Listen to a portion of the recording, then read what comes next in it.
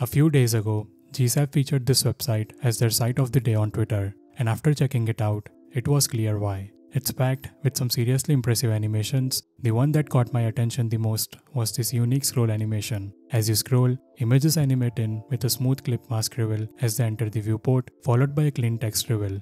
As they leave the viewport, the clip path animation plays again, this time on the way out.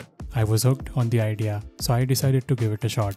In a couple of hours, I put together this mini scroll experience inspired by that idea using GSAP and Scroll Trigger. It includes both animations, the clip path image reveal, and a character by character text animation powered by the split text plugin. In this video, I'll walk you through how to create this effect with very minimal GSAP and Scroll Trigger. If you find this helpful, a like would mean a lot and if you haven't already, consider subscribing for more breakdowns like this. And if you'd like to access the source code for this project, plus hundreds of other similar micro projects, and a complete website template every month, you can check out the Pro membership via the link in the description. Alright, let's get started. We'll start with the basic page structure by adding two simple sections, a hero at the top and an outro at the bottom. These are mainly for layout, helping frame our scroll experience and give it a clear visual start and end. For now, I'll drop in an h1 inside each with some placeholder text so we can see them in place. Next comes the main content, the work items. We'll be creating 5 of these sections, each acting as its own animated block in the scroll sequence. Using Emmet shorthand, I'll quickly generate the structure for each one, 5 sections in total. Every work item will contain 2 elements. First, an image wrapper called work item image that holds the image element, and second, a title wrapper called work item name which will contain an h1 for the project name. Once that's generated, I'll update the h1s with some placeholder titles.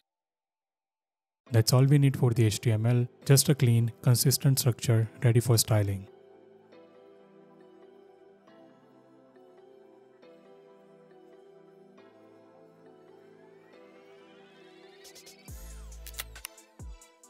For the styling, I'll start by importing a Google font called Inter Tight to give the text a clean modern look. Then, I'll reset the default spacing for all elements and make sure the box sizing is set to border box for the body, I'll apply art font, give it a light background and set the text color to a dark shade for good contrast.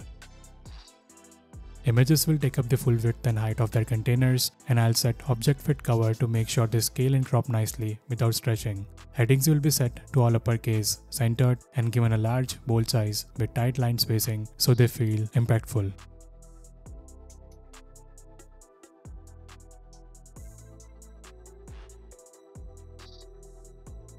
Every section will be positioned relative, take up the full width of the viewport, and have overflow hidden so our clip path animations don't spill outside their container.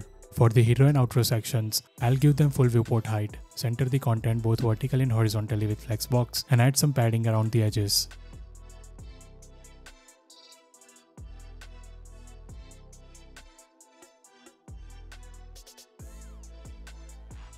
Each work item will be taller than a single viewport height, giving us enough scrolling space to animate both the image and the text.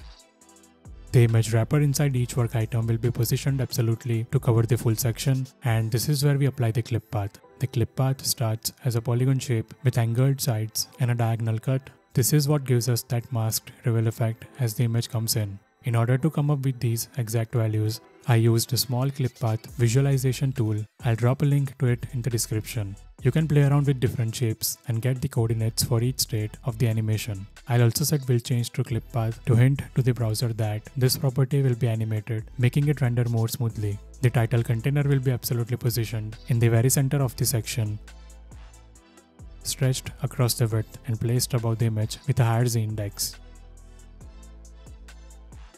The headings inside this container will be white so they stand out clearly over the images. Finally, for smaller screens, I'll reduce the heading size so it stays readable without overwhelming the layout. That's all for the CSS setup. Next, we'll move on to the JavaScript to bring the animations to life.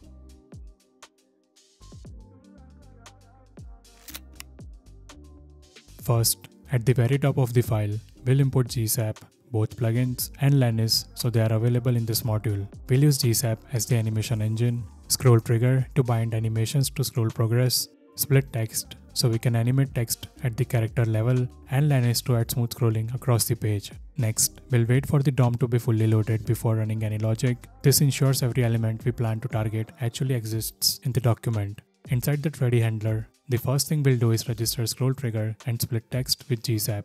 Registering plugin is required so GSAP knows to initialize their internals for this page. Now we'll set up smooth scrolling. I'll paste the standard Lenis snippet from the Lenis docs, the same one we always use to enable smoothing. Here, we are basically creating a Lenis instance. This replaces the default browser scrolling with a smoothed version that feels consistent and controlled. To keep scroll trigger perfectly in sync with that smoothing, we'll listen for Lenis scroll events and ask scroll trigger to update on each one. And we'll also disable lag smoothing on GSAP's ticker. This setup is pretty much the standard way to connect Lenis and GSAP so that they stay in sync and scroll triggered animations feel smooth. With the imports done and the scroll system wired up, our foundation is set. In the next block, we'll move into the per section logic and start targeting the elements we want to animate. First, we'll collect all the work items and loop through them one by one. This lets each section manage its own animations independently. Inside the loop, we'll grab two elements from the current section. The image wrapper will animate later and the heading inside the title container. We'll use that heading for the character by character reveal. For the reveal technique, we'll use split text to break the heading into individual characters. I'll enable masking so each character has its own clipping context. Now, before any scrolling happens, we'll set every character to start just below its baseline. Think of it as staging them off screen vertically so they're hidden and ready to move up into place.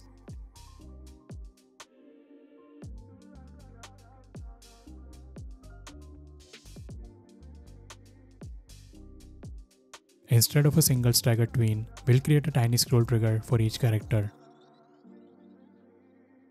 The trigger for every character uses the same section as its trigger element but with a slight start and end offset based on the character's index. That offset spaces out the timing so characters roll in sequentially as the section approaches.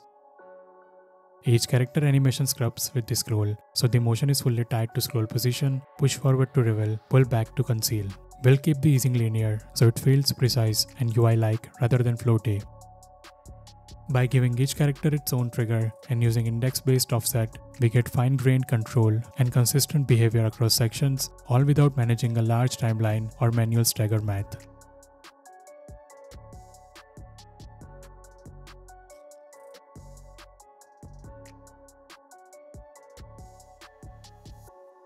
Next, we'll set up the image clip path animations for enter and exit to complete the effect. First, I'll create a scroll linked animation for the enter phase. This one is attached to the current section, so all timing is based on when that block moves through the viewport. I'll set the start so it begins as the top edge of the section touches the bottom of the viewport and I'll set the end so it finishes when that same top edge reaches the very top of the viewport. With scrub enabled, the mask change will follow the scroll in real time, no play or pause feeling just a direct mapping between your scroll and the reveal. For the animation itself, the image starts with the angled mask we defined in CSS. As we scroll through this range, that shape opens up into a clean, full rectangle, which gives us unmasking effect as the image comes into view. I'll keep the easing flat here, that way what you scroll is exactly what you see, no acceleration to distract from the UI feel.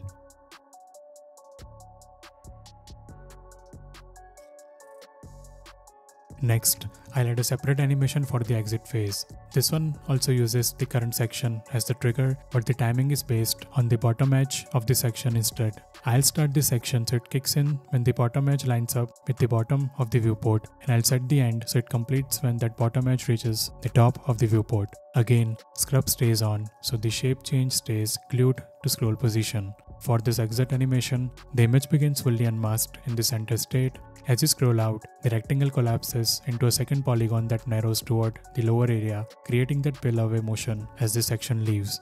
Easing stays flat here as well. By splitting enter and exit into two focused triggers, each phase has its own clean range and its own target shape that keeps the logic simple, avoids overlapping timelines, and lets us art direct the incoming and outgoing masks independently.